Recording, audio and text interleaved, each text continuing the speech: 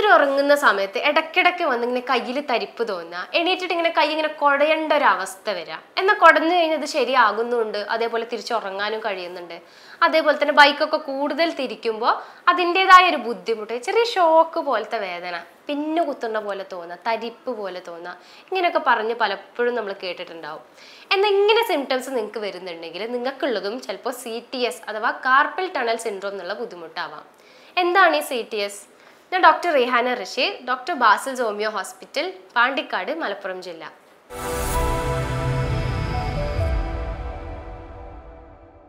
നമ്മുടെ കയ്യിന്റെ ഈ ഒരു പോർഷൻ എടുത്ത് നോക്കിക്കഴിഞ്ഞാൽ അവിടെ ഉള്ളത് വെറും ബോൺസോ മസിൽസോ മാത്രമല്ല ഈ മസിൽസിന്റെ ഒക്കെ ബാക്കി വരുന്ന ടെൻഡൻസ് ഉണ്ട്.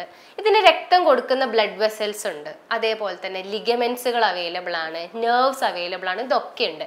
എന്നാൽ ഇതിനൊക്കെ ചേർത്ത് പിടിക്കാൻ വേണ്ടി നമുക്കിപ്പോൾ കയ്യിൽ ഒരു പത്തോ ഇരുപതോ പെൻസിൽ ഉണ്ടെങ്കിൽ അതിനെ ഒരുമിച്ച് ചേർത്ത് പിടിക്കാൻ വേണ്ടി നമ്മൾ എന്തെങ്കിലും ഇലാസ്റ്റിക് ബാൻഡോ അല്ലെങ്കിൽ സെല്ലോ ടേപ്പോ പോലുള്ളത് ഉപയോഗിക്കാറുണ്ട് അല്ലേ?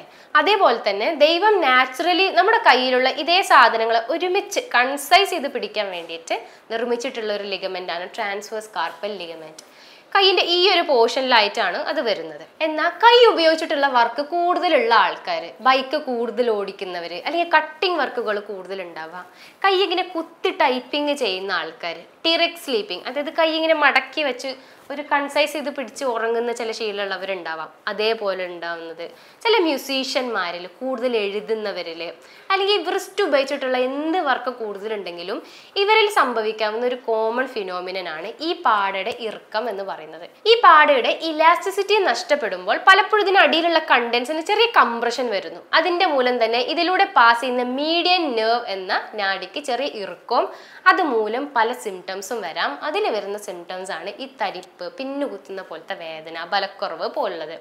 എന്നാൽ അത് ഫുള്ള് കയ്യിൽ വരാനുള്ള സാധ്യതകളുണ്ടോ?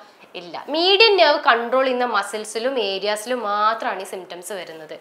നമ്മുടെ കൈയിന്റെ ഈ ഒരു തള്ളവിരൽ ചൂണ്ടുവിരൽ നടുവിരൽ അതുപോലെ നമ്മുടെ റിംഗ് ഫിംഗറിന്റെ പകുതി ഈ ഒരു ഏരിയാസിലാണ് മെയിൻലി ഈ സിംറ്റംസ് വരുന്നത്.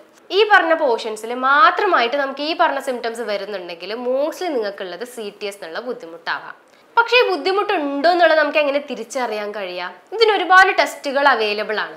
നമുക്ക് നെർവ് വെലോസിറ്റി ടെസ്റ്റ് അല്ലെങ്കിൽ നെർവ് കംപ്രഷൻ ടെസ്റ്റ് പോലുള്ളവ ചെയ്തു കഴിഞ്ഞാലും ഇതിന് ഇറുക്കമോ എന്തെങ്കിലും പ്രഷറോ വരുന്നുണ്ടോ എന്നുള്ളത് നമുക്ക് തിരിച്ചറിയാം. ഈ യു എസ് എ പോലുള്ള പുറം രാജ്യങ്ങളിൽ പലപ്പോഴും ഇങ്ങനെ കയ്യിൽ മാത്രമായിട്ടൊക്കെ പെട്ടെന്ന് ഡോക്ടർ തന്നെ ക്യാബിനിൽ വെച്ചിട്ട് യു എസ് ജിയും അതായത് സ്കാൻ എടുത്ത് നോക്കാറുള്ള പതിവുകളും ഉണ്ട്.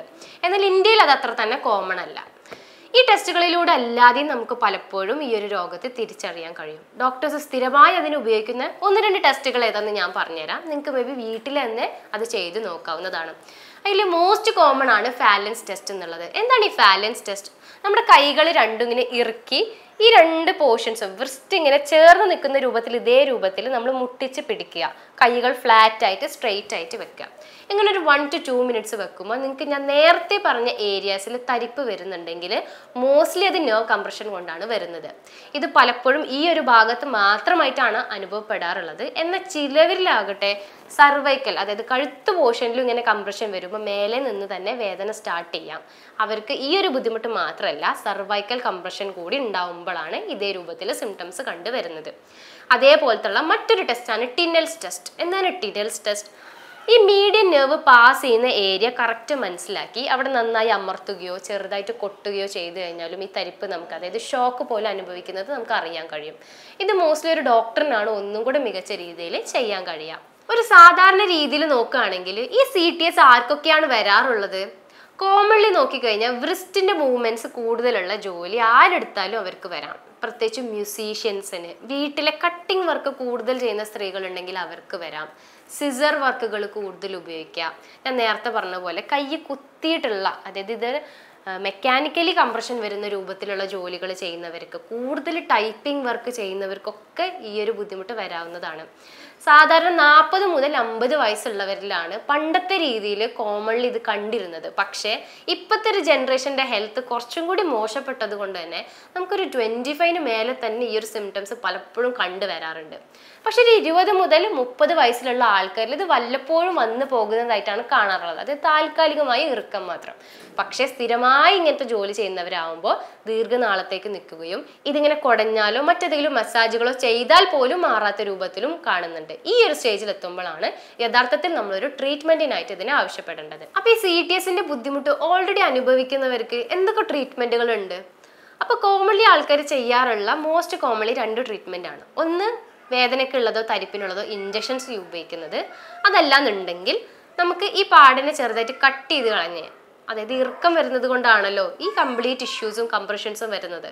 അപ്പോൾ ഇതിന്റെ ചെറിയ കട്ട് ചെയ്താൽ അതായത് ഈ ഒരു പോർഷനിൽ ചെറിയ ഒരു കട്ട് ചെയ്താൽ ഈ ഒരു ബുദ്ധിമുട്ടുകൾ കംപ്ലീറ്റ് ആയിട്ട് റിസോൾവ് ചെയ്യും. എന്നാൽ പല പേഷ്യൻസിലും ഈ ഒരു സർജറി ചെയ്യണമെന്ന് യാതൊരുവിധ നിർബന്ധവും ഇല്ല. സർജറി ഒന്നും ഇല്ലാതെ തന്നെ നല്ല ഫലപ്രദമായിട്ടുള്ള ഹോമിയോപ്പതി മെഡിസിൻസിലൂടെ നമുക്കിത് മാറ്റിയെടുക്കാവുന്നതേ ഉള്ളൂ. ഇതൊക്കെ നമ്മുടെ ട്രാൻസ്വേഴ്സ് ലിഗമെന്റ് കംപ്രഷൻ അല്ലെങ്കിൽ ഇലാസ്റ്റിസിറ്റി കുറയുമ്പോൾ അതിന്റെ ടെൻഷൻ മൂലം വരുന്നതാണ്. അപ്പോൾ ഇതിന്റെ ഇലാസ്റ്റിസിറ്റി വർദ്ധിപ്പിക്കുന്ന മെഡിസിൻസ് നമുക്ക് കഴിക്കുകയും അതേപോലെ തന്നെ നമുക്ക് എന്തെങ്കിലും നീർക്കെട്ടുകളോ ഈ തരിപ്പോ വരുമ്പോൾ ആ സിംറ്റംസിനെ ബേസ് ചെയ്തിട്ടുള്ള ഹോമിയോപ്പതി ട്രീറ്റ്മെന്റും സ്റ്റാർട്ട് ചെയ്ത് കഴിഞ്ഞാൽ ഇതിന് നല്ലൊരു റിലീഫ് നമുക്ക് എക്സ്പീരിയൻസ് ചെയ്യാം. ഈ ഒരു ടെൻഡൻസി കുറയുമ്പോൾ തന്നെ ഇതിന്റെ റിപ്പീറ്റേഷൻ പിന്നെ വരാനുള്ള ചാൻസസും വളരെയധികം കുറഞ്ഞു കിട്ടും. എന്നാൽ ഇതിന്റെ കൂടെ തന്നെ നമുക്ക് ചെയ്യേണ്ട കുറച്ച് എക്സസൈസുകളുണ്ട് ഇത് നിങ്ങൾക്ക് മരുന്നിന്റെ കൂടെയോ മരുന്നില്ലാതെയോ നിങ്ങൾക്ക് ചെയ്യാവുന്നതാണ്. ഇത് നിങ്ങൾ ഇനീഷ്യൽ സ്റ്റേജസിൽ തന്നെ ചെയ്തു കഴിഞ്ഞാൽ ഒന്നും കൂടെ നിങ്ങൾക്ക് ഇഫക്റ്റീവ് രീതിയിലുള്ള മാറ്റങ്ങൾ അനുഭവിക്കാൻ കഴിയും. അപ്പോൾ എക്സസൈസുകൾ എന്തൊക്കെയാണെന്നുള്ളത് നമുക്ക് നോക്കാം. ഇതിൽ ഏറ്റവും എഫക്റ്റീവ് ആയിട്ടുള്ള എക്സസൈസുകളിൽ പെട്ട ഒന്നാണിത്. ഇങ്ങനെ റൗണ്ട് ആയിട്ട് ഫ്ലാറ്റ് സർഫസിലുള്ള എന്തെങ്കിലും ഒരു ഫോം റോളറോ ബോട്ടിലോ യൂസ് ചെയ്തിട്ട് കൈകൾ അതിന്റെ മേലെ വെച്ച് ഇങ്ങനെ റോൾ ചെയ്യുക. എപ്പോഴും ശ്രദ്ധിക്കുക ഇങ്ങനെ റോൾ ചെയ്യുമ്പോൾ നമ്മുടെ വൃസ്റ്റിന്റെ ഈ ഒരു പോർഷനിൽ വെച്ച് അത് ഒരിക്കലും നിർത്തരുത്. മിനിമം ഈ ഒരു അളവ് വരെ ഇത് എത്തിക്കണം. നമ്മുടെ വിരലിന്റെ അറ്റം മുതൽ ഈ ഒരു അറ്റം വരെ എത്തിക്കേണ്ടതാണ്. ഇത് നമുക്ക് മുമ്പോട്ടോ പുറകോട്ടോ ഒരു കുറച്ച് പ്രഷർ കൊടുത്തിട്ട് ഇങ്ങനെ ചെയ്യാവുന്നതാണ്. തുടക്കത്തിൽ ഈ ഒരു ബോട്ടിലെയോ ഫോം റോളർ കൺട്രോൾ ചെയ്യാൻ നമുക്ക് ബുദ്ധിമുട്ടുണ്ടെങ്കിലും അത് ചെയ്തു തുടങ്ങുമ്പോൾ അതിന്റേതായ ഒരു കൺട്രോൾ നമുക്ക് ലഭിക്കുകയും കുറച്ചും കൂടി ഫാസ്റ്റായിട്ട് ചെയ്യാൻ പറ്റുകയും ചെയ്യും. അതേപോലെ നമുക്ക് ചെയ്യാവുന്ന മറ്റൊന്നാണ് കൈകൾ രാവിലെ തന്നെ എണീറ്റുണ്ട് ഇങ്ങനെ ഷോൾഡർ ലെവലിൽ സ്ട്രെയിറ്റ് ആയിട്ട് പിടിക്കുക എന്നിട്ട് കൈ ഇങ്ങനെ മടക്കി ഈ ഒരു ഭാഗത്തോട്ട് നന്നായി സ്ട്രെച്ച് ചെയ്ത് ഒരു ഫൈവ് സെക്കൻഡ് മെയിന്റെയിൻ ചെയ്യുക. എന്നിട്ട് സ്ട്രെയിറ്റ് ആക്കി വിടുക. അതേപോലെ തന്നെ തിരിച്ചു ഇങ്ങനെ ചെയ്യുക. ഇത് എപ്പോഴും ശ്രദ്ധിക്കണം. പരമാവധി കൈ ഇങ്ങനെ മടങ്ങാതെ സ്ട്രെയിറ്റ് ആയിട്ട് എത്രത്തോളം ചെയ്യാൻ കഴിയുമോ അതിനാണ് ഇഫക്റ്റ് കൂടുതൽ കണ്ടുവരുന്നത്. ഇതേപോലെ രണ്ട് കൈയിലും നിങ്ങൾക്ക് ചെയ്യാവുന്നതാണ്. അതേപോലെ തന്നെ ഈ നേരത്തെ പറഞ്ഞ എക്സസൈസിന്റെ നേരെ ഓപ്പോസിറ്റ് നമ്മുടെ കൈ ഇങ്ങനെ ഷോൾഡർ ലെവലിൽ വെച്ചുകൊണ്ട് ഈ ഒരു ഭാഗത്തേക്ക് സ്ട്രെച്ച് ചെയ്യുന്നതും ഇതിന് ശേഷം ചെയ്യാവുന്ന വളരെ നല്ല എക്സസൈസാണ് നമ്മുടെ കൈകളിൽ ഈ ഒരു പാടിയുള്ളത് ഈ ഒരു പോർഷനിലാണ് ഇവിടെ മാത്രമല്ല അതുകൊണ്ട് തന്നെ നമ്മുടെ ഫിംഗർ സ്ട്രെച്ചിങ് എക്സസൈസുകളും ഇതിന് വളരെ നല്ലതാണ്. അത് ചെയ്യുക എങ്ങനെയെന്ന് വെച്ച് കഴിഞ്ഞാൽ കൈകൾ ഇങ്ങനെ നിവർത്തി വെച്ചതിന് ശേഷം ഫിംഗേഴ്സ് മാക്സിമം നിങ്ങൾക്ക് എത്രത്തോളം സ്ട്രെച്ച് ചെയ്യാൻ കഴിയുമോ അത്ര സ്ട്രെച്ച് ചെയ്യുക. അതേപോലെ ഇത് അടച്ചു പിടിക്കുകയും ചെയ്യുക. ഇതിങ്ങനെ റിപ്പീറ്റേഷനിൽ ഒരു ഒന്നോ രണ്ടോ മിനിറ്റ് നിങ്ങൾക്ക് ഒരു ടെൻ സെക്കൻഡ് ഗ്യാപ്പിൽ ഇങ്ങനെ ചെയ്യാൻ കഴിയുമെങ്കിൽ അതിന്റെതായ വ്യത്യാസങ്ങൾ നിങ്ങൾക്ക് കാണാൻ കഴിയും. അതേപോലെയുള്ളതാണ് ഫിംഗർ ടാപ്പ് ആൻഡ് ഹോൾഡ് കൈകൾ ഇങ്ങനെ നിവർത്തി പിടിച്ചതിന് ശേഷം ഓരോ ഫിംഗേഴ്സ് ആയിട്ട് ഇങ്ങനെ അമർത്തി പിടിക്കുക. എന്നിട്ട് അത് വിടുക. ഇങ്ങനെ ഓരോ ഫിംഗേഴ്സും നമുക്ക് റിപ്പീറ്റഡ് ആയിട്ട് ചെയ്യാം. ഇതിൽ രണ്ട് കയ്യിലുണ്ടെങ്കിൽ രണ്ട് കൈ ഒരുമിച്ച് ചെയ്യുകയോ അല്ലെങ്കിൽ ഓരോ കൈന്റെ ആയിട്ടോ നിങ്ങൾക്ക് ചെയ്യാവുന്നതാണ്. അതേപോലെ ചെയ്യാവുന്നതാണ് തം പ്രസ് ആൻഡ് ഹോൾഡ്. നമ്മുടെ കൈ ഇങ്ങനെ നിവർത്തിയതിനു ശേഷം ആദ്യം നമ്മുടെ തമ്പ് അല്ലെങ്കിൽ തള്ള വിരൽ ഇങ്ങനെ അമർത്തി പിടിക്കുക. എന്നിട്ട് ഫുൾ സ്ട്രെച്ചിൽ എത്രത്തോളം സ്ട്രെങ്ത്തിൽ ഇത് അമർത്താൻ കഴിയുമോ ഇങ്ങനെ ഫോൾഡ് ചെയ്യുക. അതേപോലെ ഇത് തുറക്കുക. അതേപോലെ ഇത് അടച്ച് ഹോൾഡ് ചെയ്തതിന് ശേഷം ഇതും പരമാവധി സ്ട്രെച്ച് ചെയ്യുക.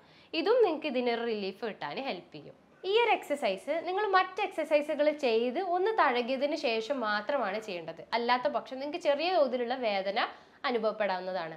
ആദ്യം തമ്പ് നമ്മൾ നേരത്തെ ചെയ്തതുപോലെ ഇങ്ങനെ അടച്ചു പിടിച്ച് നല്ല വൃസ്റ്റുകൾ ക്ലോസ് ചെയ്യുക. അധികം ടൈറ്റ് ആയിട്ട് ഇത് ക്ലോസ് ചെയ്യരുത്. പ്രത്യേകം ശ്രദ്ധിക്കുക. മുമ്പത്തെ എക്സസൈസിൽ അത് കൂടുതൽ ടൈറ്റ് ആക്കണമായിരുന്നു. പക്ഷെ ഇതിൽ അധികം ചെയ്യാൻ പാടില്ല. അതിനുശേഷം ഇങ്ങനെ സൈഡിലോട്ട് സ്ട്രെച്ച് ചെയ്യുക. അതല്ല ഇങ്ങനെ ചെയ്യുമ്പോൾ ഒരുപാട് വേദന അനുഭവപ്പെടുന്നുണ്ടെങ്കിൽ നോർമലി ഇങ്ങനെ ഫിസ്റ്റ് പിടിച്ചിട്ടും നിങ്ങൾക്ക് ഇങ്ങനെ ചെരിച്ച് പിടിക്കാവുന്നതാണ്. കുറച്ച് സെക്കൻഡുകൾ ഹോൾഡ് ചെയ്യുക. തിരിച്ച് ബാക്കിലോട്ട് വെക്കുക. അതേപോലെ തന്നെ ഇങ്ങനെ ഡിപ്പ് ചെയ്യുക. ഈ ഒരു എക്സസൈസ് നിങ്ങൾക്ക് വേദനയുള്ള കൈകളിൽ മാത്രം ചെയ്താൽ മതി. ഒരു ബുദ്ധിമുട്ടും ഇല്ലാത്ത കയ്യിൽ ഇത് യാതൊരു കാരണവശാലും ചെയ്യേണ്ടതായിട്ടില്ല. അതുപോലെ ചെയ്യാവുന്ന മറ്റൊരു എക്സസൈസ് ആണ് വൃസ്റ്റ് റൊട്ടേഷൻ നമ്മുടെ വൃസ്റ്റുകൾ നമ്മൾ സാധാരണ സിനിമകളിലും മറ്റും കാണുന്നത് പോലെ ഇങ്ങനെ രണ്ട് കൈയും നിവർത്തി വെച്ച് കംപ്ലീറ്റ് ഇങ്ങനെ റൊട്ടേറ്റ് ചെയ്യുക. ഇത് നിങ്ങളുടെ മൊബിലിറ്റി ബെറ്റർ ആക്കാനും അതേപോലെ തന്നെ പാടക്കിറുക്കം കുറക്കാനും ഒരു പരിധിവരെ ഹെൽപ്പ് ചെയ്യും. ഈ രോഗത്തെ പറ്റിയിട്ടുള്ള മറ്റെന്തെങ്കിലും ഡീറ്റെയിൽസുകൾ അറിയാനും ഇതിന്റെ ട്രീറ്റ്മെന്റിനെ പറ്റി മനസ്സിലാക്കാനും ട്രീറ്റ്മെന്റിനു വേണ്ടി നിങ്ങൾക്ക് താഴെ കാണുന്ന നമ്പറിൽ കോൺടാക്ട് ചെയ്യാം. ഞാൻ doctor Rihana Rasheed doctor Basil homeo hospital Pandikkad Malappuram ജില്ല.